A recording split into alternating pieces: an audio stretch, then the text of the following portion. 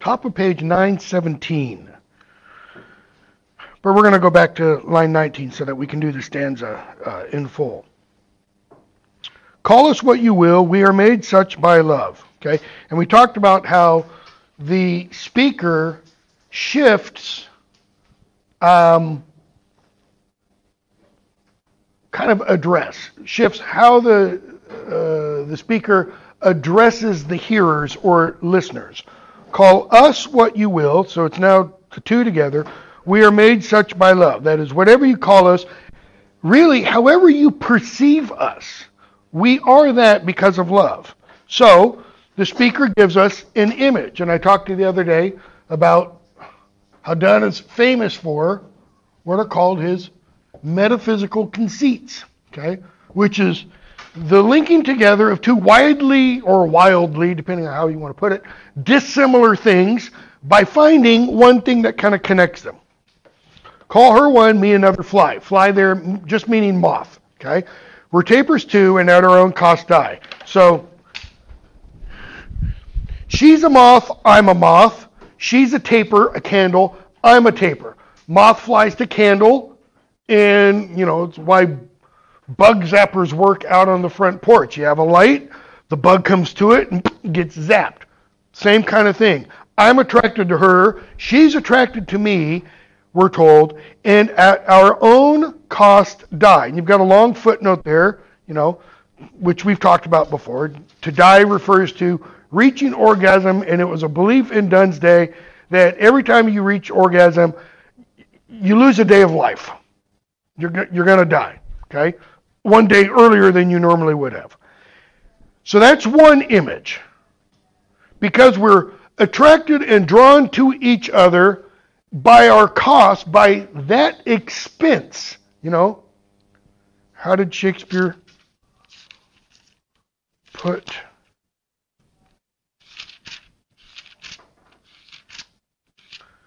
the expense of spirit in a waste in a waste of shame is lust in action. The reason ex- spirit is expended, that's the dying part. Okay? So that's one image. Now we get another image. So moths drawn to candles. And we in us find the eagle and the dove. You've got another footnote.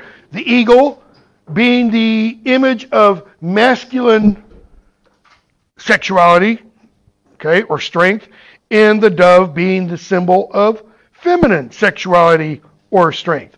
And notice, we in us. The speaker is saying each of us has these two elements. Okay? Third image. The phoenix riddle hath more wit by us. We two, being one, are it. You got a gloss about the mythological or mythical phoenix. Interestingly, your gloss does not mention the phoenix lives for 500 years and then poof, bursts into flame. All right? And then what? Rises from its death. There's the image Donne wants to leave us with. He says, We are like the phoenix. Okay? How so? We two, being one, are it. We die through sex, and then what? Rise again. And then die rise again, etc. So that's what? The third image. So to one neutral thing, both sexes fit. Think of that. What did Shakespeare say in Sonnet 20? Nature made you for a woman. That is, originally, to be a woman. But then because nature fell a doting, by adding one thing to thee of my thing, of my purpose, nothing. Okay? So originally you were made to be a woman, but she added one thing. Now you fit what I want, not at all. So Donne is saying, you know, it's it's this kind of thing. Male, female. Or, if you want, female, male. It doesn't matter. I don't mean one top, one bottom kind of thing. they do it. they what? They fit. And when they fit together, you no longer have male or female. You no longer have halves, you have a whole. Okay? Kind of like in that, you know, cheesy uh, Tom Cruise movie, Jerry Maguire, where what's her name says at the end, You complete me. It's the idea of being incomplete, and we still, I mean, we got this all throughout popular culture. The idea of the soulmate. Your soul fits my soul, kind of a thing. Okay? so, so to one neutral thing, both sexes fit. We die and rise the same. We die to one neutral thing fit, and we rise and prove mysterious by this love. Okay, but that last dying and rising, yeah, the sexual aspect is there, but I think there's more than that. He's talking about not just sexual love, he's talking about the speaker, not again, don't confuse the speaker with with Donne. Okay? Donne's the writer, the speaker is the person telling us the poem. I think the speaker is also suggesting there's some there's a spiritual component here. And that death leads to resurrection. We rise, we die and rise the same, improve mysterious by this love. What's a mystery? Define the word or give an example of a mystery. You guys are all too young to remember. There was a, a um, hijacker back in the early 1970s, 73, named D.B. Cooper. All we have is an image. Okay?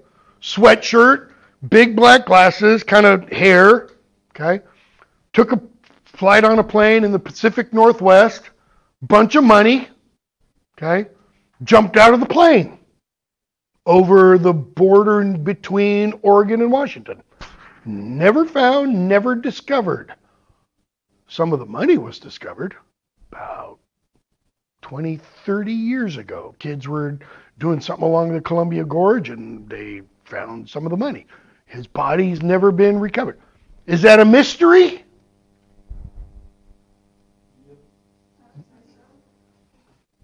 What happens if they find the body? Mystery solved, right? Yes and no. This part of the word mysterious implies cannot be known. Okay? Agatha Christie did not write, even though it says on the back covers of her books, mystery, did not write mysteries. She wrote what? Uh, Edgar Allan Poe's the Purloined Letter is considered to be the first piece of detective fiction. Detective. You have somebody detecting. It's a who done it. Okay? Scooby Doo's all who done it. Why? Because they find out who did it. If they find the body, they'll know who D.B. Cooper was. Okay? Because it was a um, fake name. Okay? A real mystery is something that cannot be intellectually resolved, something that cannot be, cannot be intellectually understood or reasoned out. It's really used primarily for religious or mythological things. Okay? In the Christian tradition, the incarnation of Jesus, how fully God up there created, you know, everything, can become an 8 pound, 2 ounce, 21 inch long baby. The idea of the Trinity. Three persons, one essence, one beat, you know. The resurrection. Dying and rising. How did it happen? See, the medieval Catholic Church tried to reason all of this out, which is why they came up with, not for the resurrection, but for communion, they came up with the idea of, see if I can spell it, transubstantiation. transubstan- transubstantiation. Okay? The root of that is substance. We all know what trans means, okay? And then the eation, noun form. Changing the substance, okay? Because the medievals believed in the difference between what's called, I think we've talked about this, substance and accidents. What is the substance of this? What is its essence? What is this? Paper, okay? What's paper made of? Trees, wood pulp. Okay? So its substance, its essence, the stuff that it is made of is cellulose. It's tree wood pulp. Its accidents is how it appears. What's its appearance? Paper. Okay? The accidents of this is what? You can even read it if you want to get specific. It's a Dasani water bottle. It's a bottle. That's its accidents. Okay? What's its substance? What's the essence of plastic? Louder? What kind of chemicals? This is why we'll never get to a quote unquote totally green world.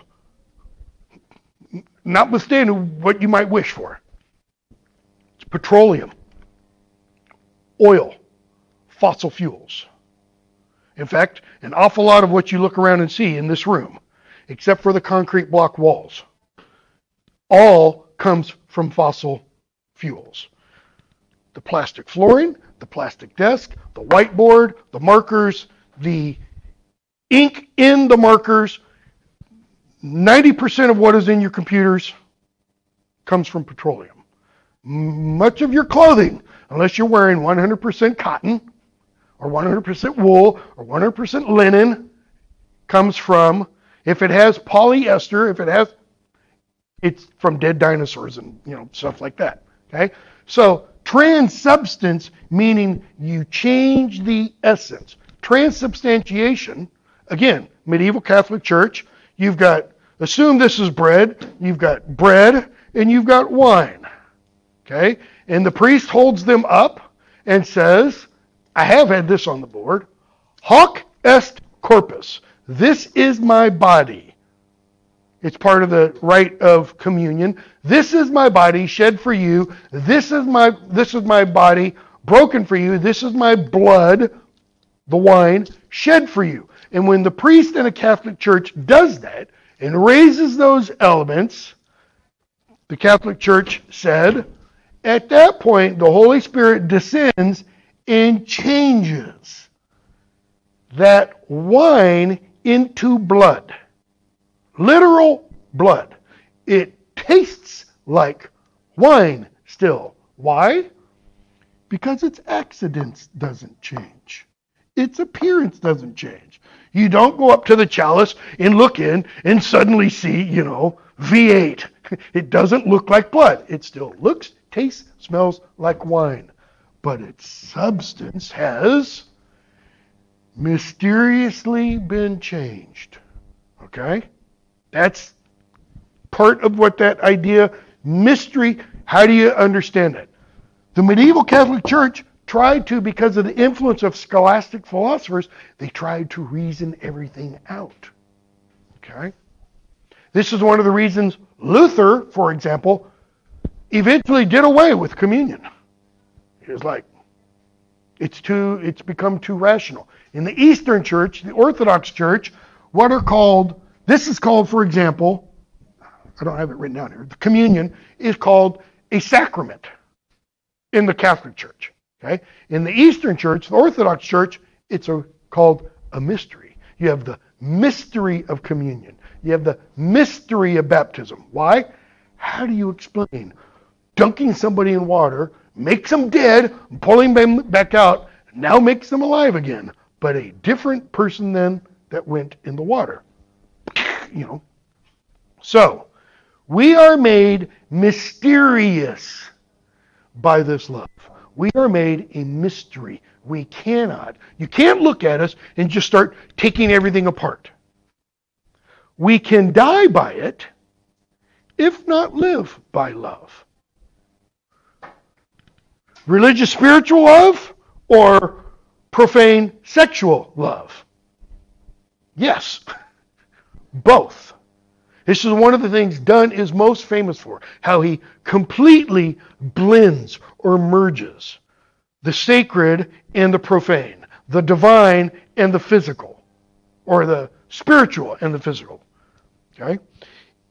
And if unfit for tombs and hearse our legend be, unfit, notice, for tombs, like on a tombstone, okay, our legend, the story about us be, notice what is being kind of suggested there. Legends are, it's kind of implied, are based on what? Facts.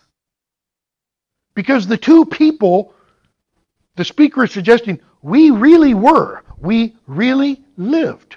But now, they're considered what? To be legendary. So, if unfit for tombs and hearse our legend be, it will be fit for verse, for poetry. It will be fit, it will be meeting, it will be appropriate for poetry. And if no piece of chronicle reprove, think of Shakespeare's sonnets, when in the chronicle of wasted time, okay? So, if we're not proven to be appropriate for a chronicle, what's a chronicle really? What is a chronicle supposed to be? Like the books of Chronicles in the Old Testament. Supposedly, they're history. Okay? You have the Anglo Saxon Chronicle. It's a listing of dates and events, historical fact, so to speak. So he says, if we're not right for chronicles, we'll build in sonnets pretty rooms sonnets, little love songs. And your gloss tells you room is the English trans is another meaning of stanza in Italian. So we'll build in sonnets little or pretty stanzas. Sonnets are made out of quatrains or um, octave and sestet. As well, a well wrought urn becomes the greatest ashes. A well wrought urn, a beautiful, you know, funerary urn. As well, one of those well made is fitting for ashes of somebody. Okay? As half acre tombs. And there are tombs that are half an acre large. A tomb was discovered oh, five, ten years ago in a part of Greece that was originally, excuse me, that was initially thought to be Alexander the Great's tomb, because we don't know where it is. See, Alexander the Great died on one of his journeys in the east. He died in India, I believe it was. Okay?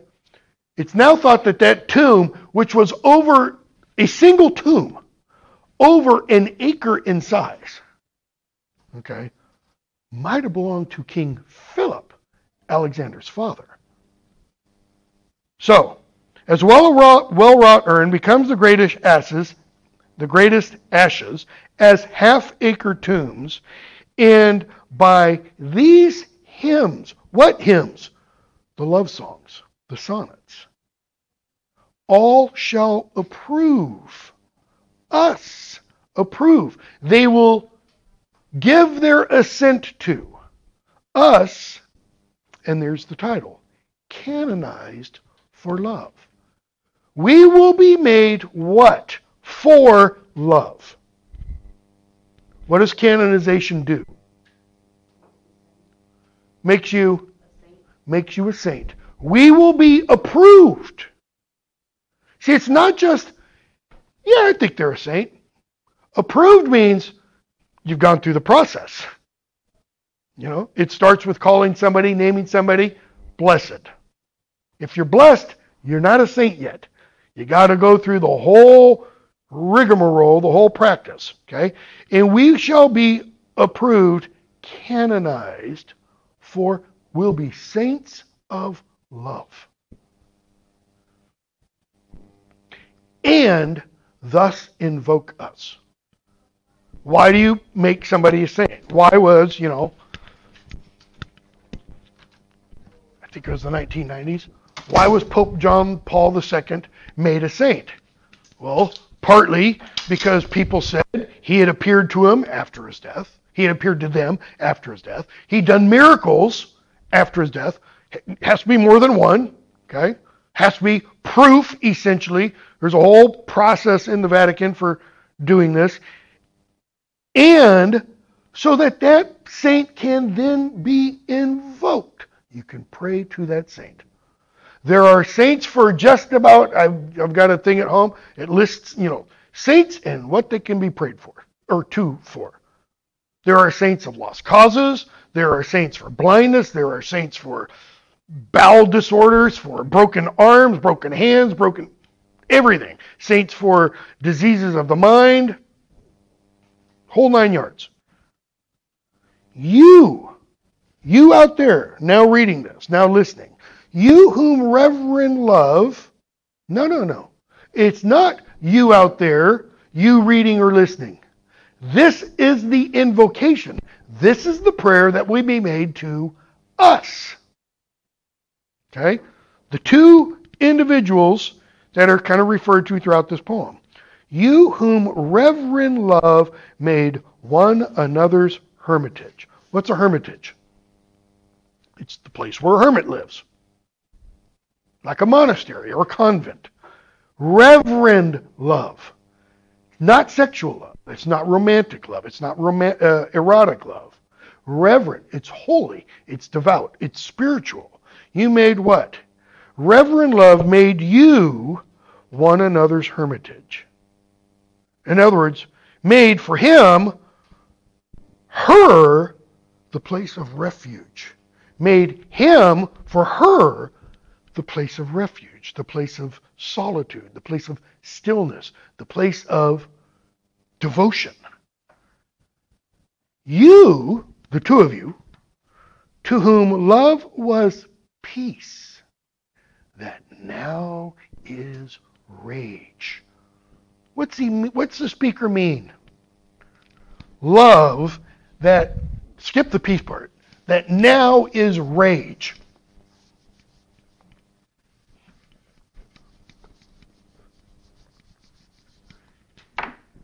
You don't have to ask this question. It's kind of rhetorical. How many of you have been in love? Probably most people in here. What was that experience of love? Was it, you know, you're down here, you fall in love, but notice the term we say fall. That implies a descent. No. Falling in love is actually what? It's rising. And then what? It just keeps rising. I've been married 37 years. It's not just, you know, continual rising, almost 37 years. It's not just continual rising. Because at some point, what happens? We saw this in Shakespeare's sonnets between the speaker and the people being addressed. You rise, and then you fall a little, and then you rise again, and you fall a little, and maybe you rise more, and then you fall more. And it... What is that?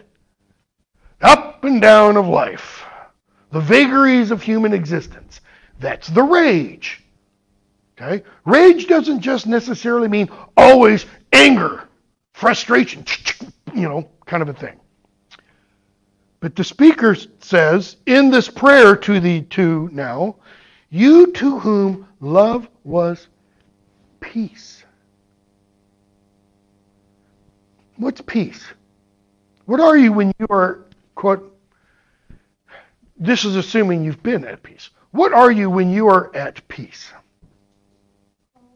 Calm, content. There's no what if you are content. That's why St. Paul says, be content in all things. There's no desire, there's no wish, there's no want, there's no anger, there's no frustration. You know, some people would say, yeah, it's because if they had an EKG done on you, you're flatlined. you're dead. That's, you know, Sophocles says at the end of Oedipus the King, count no man blessed. Anybody know how it ends? Until he's dead. Another translation, count no man happy until he's dead. Why? Because you, then you're done with Hamlet's slings and arrows of outrageous fortune. So, you to whom love was peace, that now, now, down here in our world, in the present, is rage, who did the whole world's soul contract. And your gloss says, you know, manuscript versions have extract. I've seen this poem in a bunch of manuscript versions, and I can't think of one that had extract. So I'm not quite sure where that's coming from. Anyways, I'm, it probably is there. Who did the whole world's soul contract? What does that mean? It contracted. What do you do when you have something that contracts? It gets smaller, it gets more compact. So you contracted the whole world's soul. That is, into you too. Notice, notice not souls. Why? Because they too, being one, and drove into the glasses of your eyes, right? Because his eyes, when she looks in his eyes, are glasses, mirrors. What does she see? She sees herself. And what does he see when he looks in his her, her eyes? He sees himself into the glasses of your eyes, so made such, so made, that is, in doing so, you made such, the eyes, mirrors, in such spies that they did all to you epitomize. When you looked into her eyes and she looked into your eyes, her eyes became what? The epitome of all women's eyes. His eyes became the epitome of all men's eyes. And we're back to that image of if there was ever love I had and got from the good morrow, it was but a dream of you. Countries, towns, courts. That is, and drove into the glasses of your eyes countries, towns, courts. Leave the parenthetical out for a moment. So when he looks into her, he sees what? Countries, towns, court, all levels of kind of human political existence. Everything. The whole world's soul. And thus invoke us. And this is actually what is finally now being invoked we beg from above a pattern of your love. This is what you're going to look for. You're going to pray to us and say, Show us the way. Show us the pattern. That is, how do we follow you? What are the breadcrumbs? What do we need to do to attain this kind of love. Okay? That is a love poem. I mean, that it's not overtly talking about sex or anything, and it's not overtly or overly spiritual, but it combines the two. Now go from there to, boy, I usually do a lot more of these poems, but we just don't have time. The Flea on page 920. Okay? This is perhaps one of the best known of Donne's poems. Okay? For the simple reason of the metaphysical conceit. Okay, keep in mind. Two wildly or widely dissimilar things, as Dryden puts it, violently yoked together. Like this thing does not want to get close to this thing. And Donne links them the flea. Mark but this flea, and mark in this how little that which thou deniest me is. It sucked me first and now sucks thee. Remember the long S and the F? He's punning there. It sucked me first and now sucks thee, and in this flea our two bloods mingled be. Thou knowst that this cannot be said, a sin nor shame nor loss of maidenhead. Yet this enjoys before it woo, and pampered swells with one blood made of two. And this, alas, is more than we would do. So let's look at that first stanza. This, by the way, is the poem that I found a copy of that was missing two of the lines that nobody had cataloged before as being uh, Donne's poem in this one manuscript. So mark means take note of. Look at this flea. We probably wouldn't think of the image here of a flea as being appropriate because of what's going to be described in the poem, a tick would be a better idea. Right? Because of what ticks do. So, Look at this flea and look in this. That is, take note of what I'm going to say. Because I'm going to use this flea as something to extrapolate on. Mark in this how little that which thou deniest me is. Okay? So the flea is tiny, right?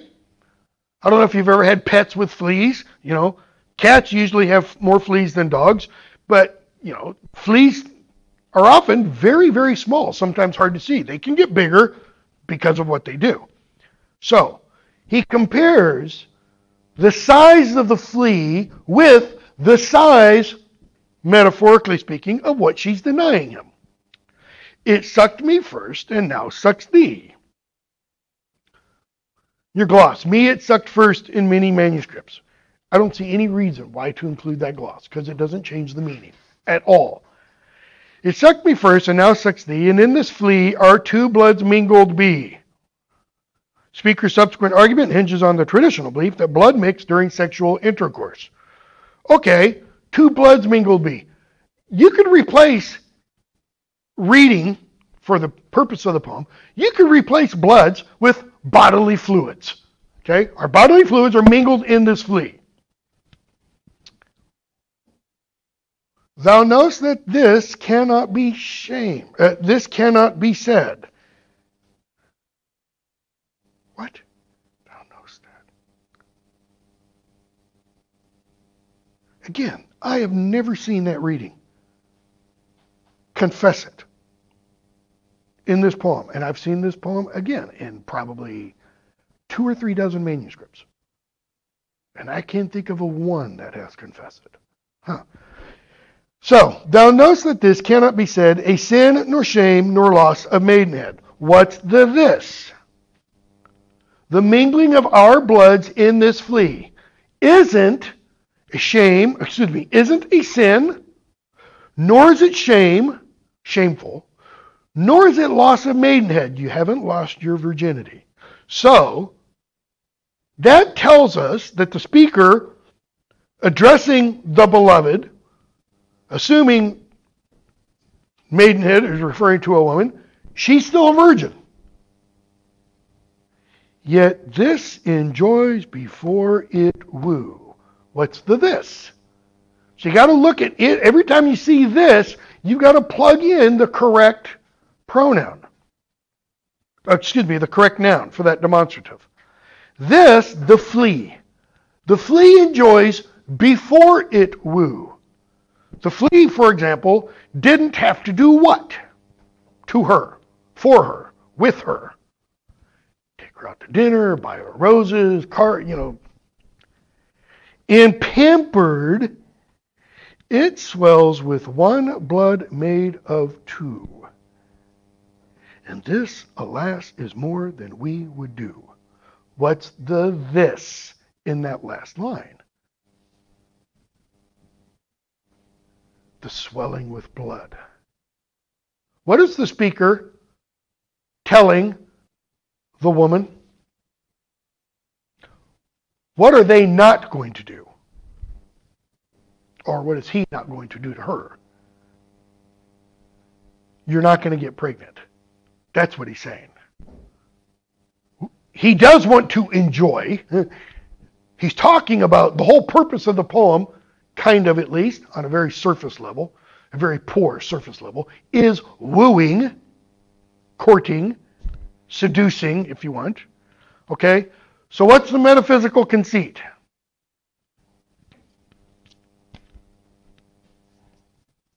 The flea equals or is linked to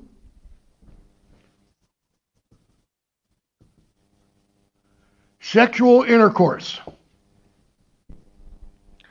Gives a whole new meaning to, you know, flea ridden dump or flea ridden hotel kind of a one night stand kind of a thing. Notice between stanza 1 and stanza 2, she does something. Okay? Oh, stay, three lives in one flea spare. What has she done? He says, first line, first stanza, look at this flea and look in this. Stanza two, stay, three lives in one flea spare. She takes that flea off. What is she getting ready to do? If you've ever had a flea on you, what do you do? You take it and you pinch it between a thumbnail and the finger. And it kills it, so it can't bite you anymore. Three lives in one. How are there three lives in one flea? His life, blood, her life, her blood, the flea's life. Or, or his life, her life, in the life made by their bloods mixing in this flea. Okay? Where we almost, nay, more than married are. This flea is you and I, and this our marriage bed, and marriage temple is. Though parents grudge and you were met and cloistered in these living walls of jet. Those are the two lines that were not in the copy that I found. Though parents grudge and you, okay, Final three lines. Though use make you apt to kill me, let not to that self murder added be, and sacrilege, three sins in killing three. Okay? How can you be more than married?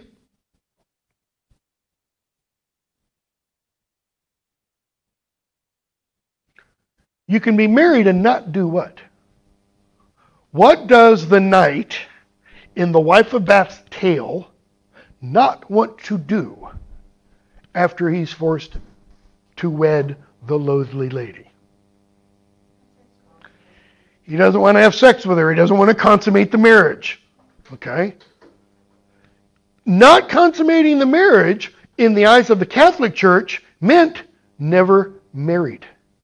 That's why you can get an annulment. It can be for married for 50 years. And if you can say and prove we never had sex, it's as if you're never married. Okay? That's why Henry VIII was able to marry his elder brother's wife. He said they never consummated the marriage. Why? Because Catherine never got pregnant. Never got pregnant, they must have never had sex. Okay?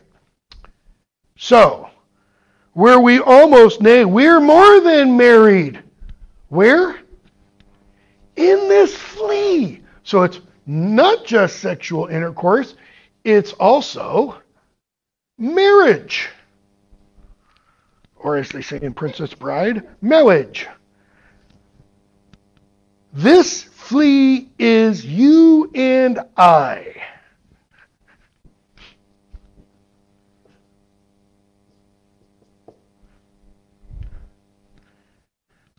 In this, the flea, our marriage bed and marriage temple. Notice I could just keep writing all the things that the speaker is linking the flea to.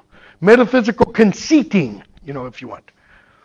Though parents grudge and you, it's one of those lines that make people go, hmm, I wonder if Donne's writing this when he and his wife are secretly married. In you, we're met and cloistered. What are cloisters? The cloisters are where monks or nuns live.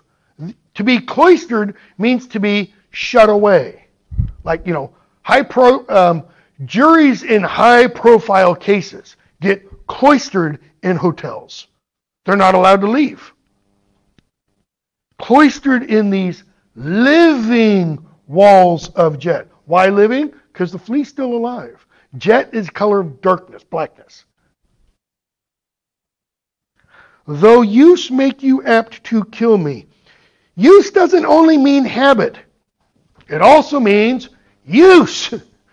Though you, though your use of me make you apt to kill me.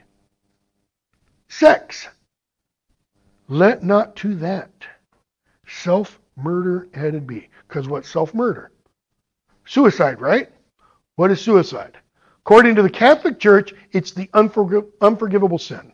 It's the sin against the Holy Spirit. Why? Because you're saying, God, my troubles are too big for even you to do anything about. Okay? And you can't repent before you commit suicide. Let not to that self murder added be, and sacrilege. How sacrilege? Three sins in killing three. Three sins in killing three what? Three lives. My life, your life, the flea's life. My life, your life, the new life in the flea. But why is that? That's not sacrilege. Killing the idea of threeness, Trinity. That's sacrilege something happens between stanza 2 and stanza 3. Cruel and sudden hast thou since purpled thy nail in blood of innocence. She popped it. He told her, stop. And she goes, oh yeah, smart guy, and pops it. So now there is blood on her finger and on her nail. Nail of innocence? That's an illusion who innocently was nailed, Christ. Okay? It could also be an allusion to the what's called the slaughter of the innocents. The children in Bethlehem, up to the age of two, who were slaughtered by Herod.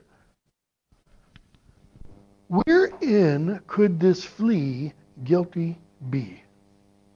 Right? Because you should only kill somebody who's guilty. Capital punishment, you know, idea. Wherein could this flea guilty be except in that drop which it sucked from thee? Okay, so maybe it was guilty of that. Yet thou triumphs. What does he mean, thou triumphs? What look does she have on her face? I think it's a grin. And sayest thou thus that thou findest not thyself nor me the weaker now? He said, Stay three lives and one flea spare. She kills the flea and she goes, I don't feel any weaker. I don't feel like my life has gone away from me. Tis true. You're right. Turns the tables. He admits what you're saying uh, via apostrophe. You know, apostrophe is when a person is speaking to somebody else who's not, who doesn't get a reply. Okay? He's saying this and says, "Tis true. Then learn how false fears be." Like what kind of fears? This, alas, is more than we would do. Last line, first stanza. Just so much honor when thou yieldst to me will waste as this flea's death took life from thee. What's meant by honor? Or where, where does her honor reside? In her virginity.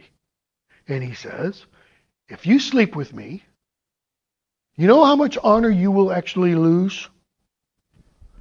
The same amount of life as you lost from this flea. None. None. Why? Nobody will know. okay? This poem is not meant to be read, taken seriously. I mean, some people have read this before as a serious, you know, kind of seduction poem. So some guy sidles up next to you in a bar, you're having drinks, and you know, he tries this out. What's going to happen? More than likely. Drink thrown in his face, if he's lucky, slapped, if he's lucky, beat the snot out of him, you know, more than likely. It's not meant to be that. It's written for what purpose? To show, I like to put it this way mental gymnastics. Donne is demonstrating how witty he can be. I mean, you got to admit. Equating a flea with marriage, the marriage temple, sexual intercourse, the whole nine yards. Okay? Drawing the similarity between those things. I mean, most people would say, ew, gross. But apparently Donne's friends liked it because this poem was copied a lot. I mean, they probably went, damn, John, that's really witty. That's really smart. Okay? I imagine if he showed it to women friends, they were like, please, dude, you, no, not going to happen. Okay? Go from there. Do we have time? Probably not. To a valediction forbidding mourning. What's a valediction?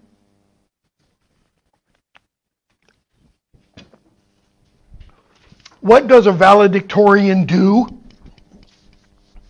And by the way, I'll just throw out my own two cents here. You should only have one valedictorian. I remember when my kids graduated high school, every stinking one of them, they had like between 13 and 20 valedictorians because principals didn't want to do a principal's job and decide there's one, the best one. Okay? A valedictorian delivers the valedictory address. Vale, goodbye, dictory, diction, word. It's a word saying goodbye, like we're out of here now. Okay? This is a valediction forbidding mourning. Donne wrote three valedictions. Valediction forbidding mourning, a valediction of weeping, and I can't remember the third one. Okay? As virtuous men pass mildly away and whisper to their souls to go, while some of their sad friends do say, the breath goes now, and some say no, so let, uh, I'm going to do two stanzas at a time. So let us melt and make no noise, no tear floods, nor sigh tempest move. Twere profanation of our joys to tell the laity our love. And we're back to the ideas that we saw in the canonization. Okay? So, as virtuous men pass mildly away. Why? Donne's playing upon an old commonplace notion that virtuous people die quietly. What's one of the greatest English uh, poems in the English language that describes not dying quietly. Anybody know? Yeah, that one. Dylan Thomas. Do not go gently into that good night. Rage, rage against the dying of the light, you know. Beautiful, um, not Tercet. Villanelle, okay, is the poetic structure there. Okay? So, virtuous men, you don't know when they go. Notice, while some of their friends, sad friends, do say, the breath goes now, and some say, nope, not dead yet. He's still breathing. So let us melt and make no noise. That is, let us separate. Because what do virtuous men do when they die? Their souls depart, the body's left. It's probably also referring to the quiet death, the so called death rattle. That when somebody is about to die, they kind of go, and that's the soul leaving the body, you know. My daughter's an ICU nurse. She swears, yeah, there is a death rattle. It often happens, you know, where just before. Okay? So, so let us melt and make no noise. I'll talk about why they're melting in a moment. no tear floods nor sigh tempests move. That is, no loud crying, no loud sighing, no tears. Why? Because that would be a profanation of our joys. It would make profane our joys. The speaker is saying our joys are therefore what? If they're not profane, they're the opposite. They're spiritual, they're heavenly, they're holy, they're sanctified. And it would dirty them. It would bring them down to the level of the earth. To do what? Tell the laity of our love. How would they tell the laity of our love? By making a big stink about separating. Okay, back up for just a moment. Donne's first biographer, a guy named Izaak Walton, who's most famous for writing a book on angling, fishing, oddly enough. Izaak Walton said that Dunn composed this poem when he was getting ready in 1610, 1611, something like that, getting ready to leave his wife temporarily, not leave, leave, but to go to a trip on the continent, to go to Europe, with his employer, Sir Robert Drury. And she didn't want him to leave. Why? She had a premonition. She was pregnant at the time. You know, she was pregnant most of the time. She had a premonition something was going to happen to the baby. Well, when Donne did get back from that trip, his wife had a stillborn child. Or while he was gone, she had a stillborn child. So she didn't want him to go. Okay. That's why he's saying, if we read that into this, that's why the speaker is saying, don't make a big fuss about my leaving. Let's just kind of keep it quiet. Okay? Moving of the earth brings harms and fears. Men reckon what it did and meant. But trepidation of the spheres, though greater far, is innocent. Moving of the earth. What's that referring to? Earthquakes. How many of you have been in an earthquake? Born and raised in California, biggest one was like a 6.3. Yeah, it's pretty good. I mean, you're sitting there, can remember several times, sitting there in the living room and all of a sudden feeling sick to my stomach. I go in my dad's den because he had swords hanging from the ceiling and they're swaying. Go look out back at our above ground pool and water sloshing over the sides of the pool. So big enough quake to get six inch waves, you know, kind of a thing. Every now and then big enough to see, you know, things shaking stuff. Okay? That, he says, does what? Brings harms and fears. Why? People always ask when there's a major earthquake, what does it mean? Well, they ask two questions. One, what does it mean? That is, it's symbolic of something. And two, where's God? Where's God when there are bad earthquakes, you know? Men reckon what it did and meant. See, they didn't know about tectonic plates at all. They didn't understand the mechanics of earthquakes. Okay? But trepidation of the spheres, though greater far, is innocent. And you've got a gloss. The precession of the equinox thought to be caused by movements in the celestial spheres. Yes and no. Trepidation means fear of. It also means movement. The movement of the spheres, remember we talked about the other day? Here's Earth, one, two, three, four, five, six, seven, eight, nine. Out here is the Empyrean where God dwells.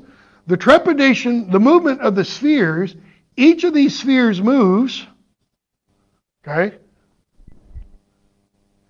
This sphere affects this one, this one affects this one. So you have all of these affecting Earth. This is why astrology is important. Why which planet, which sign you're born under is important. He says, trepidation of the spheres, though greater far, the movement of these is much greater than a little burp under the crust of the earth he says, is innocent. Innocent how? This is Donne reporting to us. This is post 1610. Okay? This is Donne reporting to us his scientific understanding. 1610, Galileo publishes his findings.